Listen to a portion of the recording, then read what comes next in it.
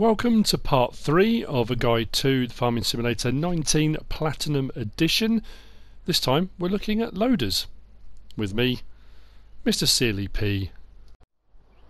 Okay then, what loaders do we get in the Platinum Edition Platinum Expansion CLAAS DLC? I think that pretty much covers all of it. Um, we get, well actually technically we get kind of six really, because these are loaders. They are front loaders. Uh, we've got the FL120C, which is the smaller one, and the FL140. This one will fit onto the Arion 440, which can take a front loader attachment. That one will fit a bit better onto the slightly larger Arion. Uh, my mind's gone blank on the number. The uh, 660 610, which will also take a front loader attachment. Um, very, very nice. What we'll do and I've got to stop saying very, very nice. I think, let's just take it as red. they're very, very nice.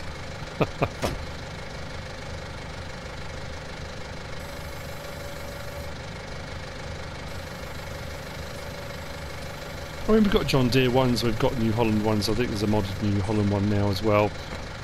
But it's nice to have a pack that matches up. I like the fact that all the uh, all the lines all hook into that block really neatly. Very, very well put together. Very cool. Nice reach on them. Which you'd expect with the front loaders. So there you go. These you'll find in the front loader category. Just stop there.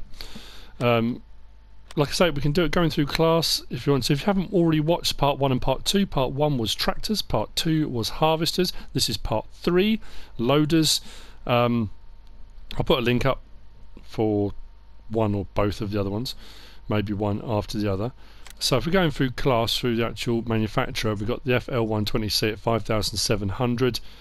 There are no options available. You get the front loader. That will hook up to all front loader tools, uh, the CSZ pack, and various different um, bits and bobs that go with front loaders, which is exactly what they're supposed to do. Moving on from that, we've got the first of our kind of self-propelled front loaders, or loaders, let's say that. So we've got the Torion 639. This comes under the front loader category. In CLAAS, in the CLAAS range, they've got these three, or we've got these three in game anyway which are all Torions. So they're part of the Torion class. This comes under front loader. These two come under wheel loaders. I mean, technically it is a wheel loader, but it's just a smaller version. This comes into the same category as like the little Kramer. We'll have a look at that in a second as well. Um, again, lovely detail on it. Looks great. I'm seriously considering on my Let's Play on um, Geiselsberg I've got a Lindner Lintrac I'm using for the pigs and I think I might, might sell that and get this because I think this might work a little bit better for what I'm doing. It does have a trailer hitch on the back and the trailer hitches do work. Um, I did try them, they will hook up to the pin hitch trailers where you put kind of the bolt, the pin through. Uh, but they won't hook up to the ball hitch trailers. Let's jump in it.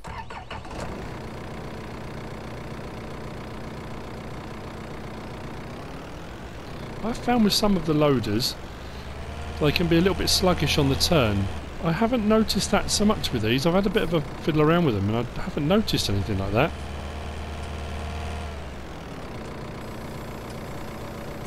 Nice enough reach, about the same kind of reach as a front loader tool anyway. Again this will work with the CSZ pack, this will work with front loader tools and the various different implements we've had in the game already. We do have a beacon, lights, rear lights, main work lights, and inside let's turn all those lights off. We do have a panel that shows it. Lights on rear lights main work lights turn them all off. We've also got one for our beacon.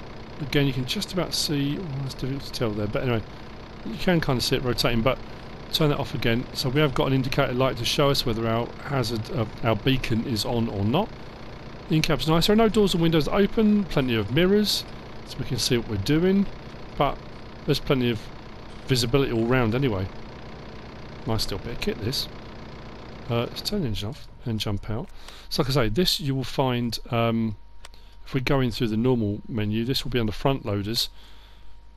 So you've got the Kramer and then there's the modded Kramer.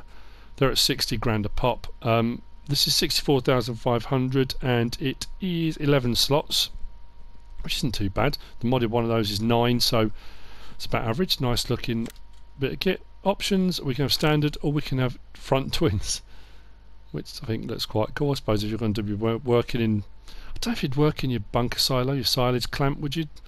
With that, it's a little bit small, probably not enough weight on there. But anyway, um, very nice bit of kit, the Torion 639. Next up at Oh yeah, we're going to carry on through here. We've got the wheel loaders. So we've got the, Tor- the Torion 956. This is the Sinus. I, I want to say Sinus. It's spelled Sinus, but it's a very weird name for it. Now, this is kind of in a category of its own. Whilst it is in wheel loaders, all the other wheel loaders we've got in game are much bigger. They're kind of this sort of size. There isn't anything in game that kind of directly links with this, so it's kind of unique, I suppose, in that respect. It's only 106 horsepower, so not particularly powerful. It's bigger than the front loader, but not as big as the bigger wheel loaders. Um, I'm sure you know people will find a use for various different jobs and stuff. I suppose if you've got a small yard and you want a wheel loader and you don't want a massive great beast in it, again trailer hitch um, works. Let's jump in.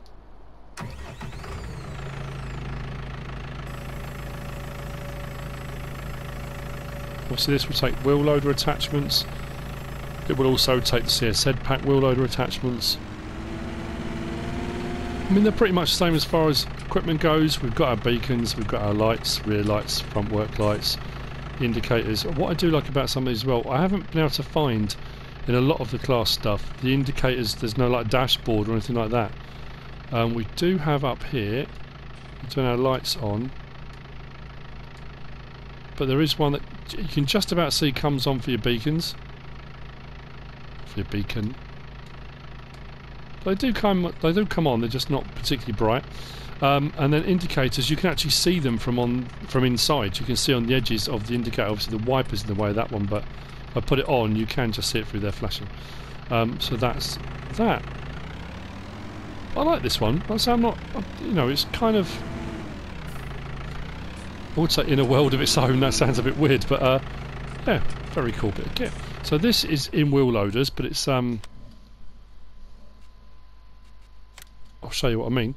We've got the New Holland 190D, which is 234 horsepower. We've got the uh, 435 SJCB, which is 230 horsepower. The larger Torion is 224. This is only 106, so there isn't anything really around it. Um, we've got an option of Trelleborgs, standard or twins on the front we can have Nokians with the communal communal tyres on there like so. Very nice indeed, which brings us on to the larger of the three, which is the Torion 1914 or 1914. We've just kind of sort of had a look in there. Um, this is more comparable with the standard wheel loaders we're kind of used to having. I haven't got the um, bonus edition yet because that will come out with my season pass on Monday night into Tuesday. Um, so there is the Dev Mule version of this, which is kind of in a paint scheme, so you couldn't tell what it was when it was being produced. But um, again, this is under wheel loaders, and it's just there. The Torion 1914, 248,000. Um, oh, I didn't say slots, did I? Sorry, the 956 Sinus was 28 slots. This one is 27. Uh, so one slot less than the sinus. Sinus. I don't know why, but it is. Um, options available again. We've got Trelleborgs and we've got oh we've got Mitas on this. Ah, no, that was something I was going to mention.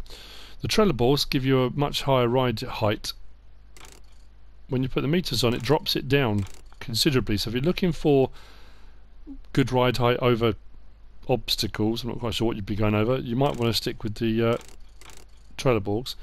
Uh, the Mitas, and then we've got the Michelins as well, sort of arranged through various different sizes. Then the Nokians. It looks a bit odd on there with that. I'm doing something. Looks like an armadillo. It's a very peculiar looking thing. Anyway, uh, there you go. Let's jump in it. You can tell already it's got a bigger engine, bit throatier. Beacon on top, lights front, rear, work lights, from in-cab we have got this display up here. Again, lights on. Scroll through. and there's one there for our beacon. Indicators we can see clearly. There we go. Cool. I like this one.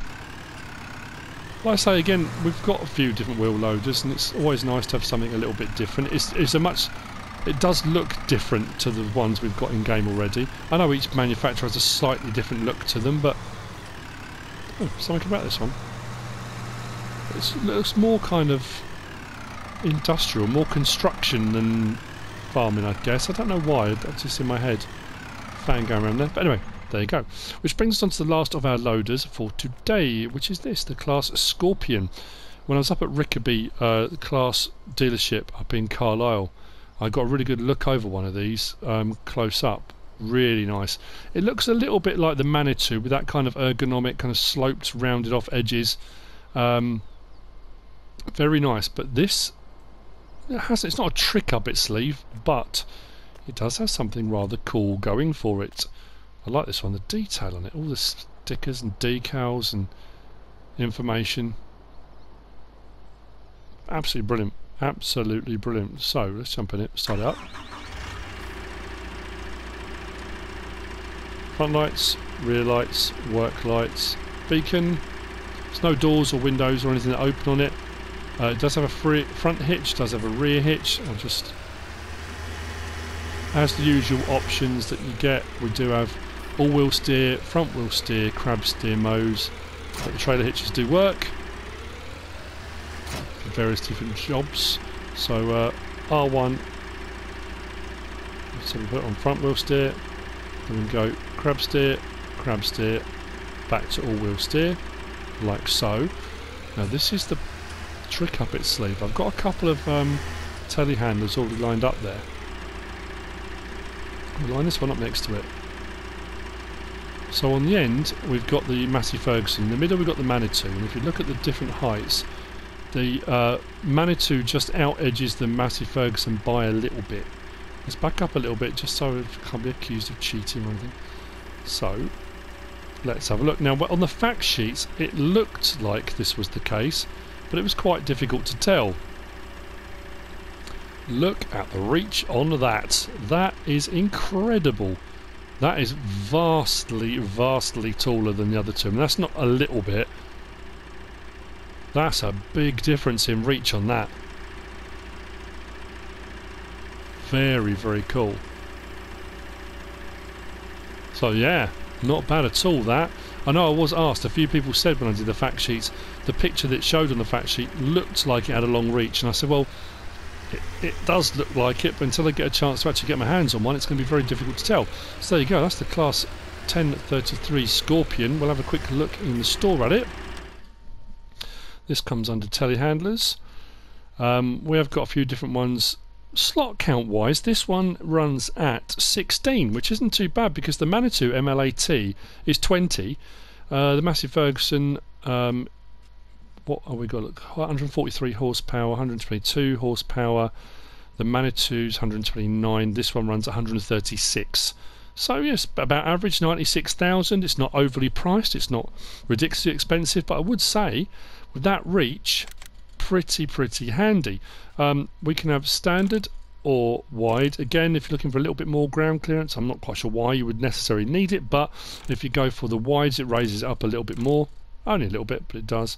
Uh, and then we've got our Nokians with the communal tyres like so. And there you go.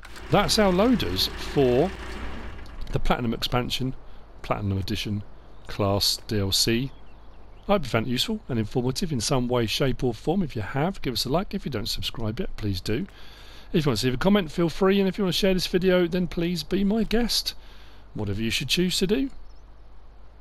Thanks for watching.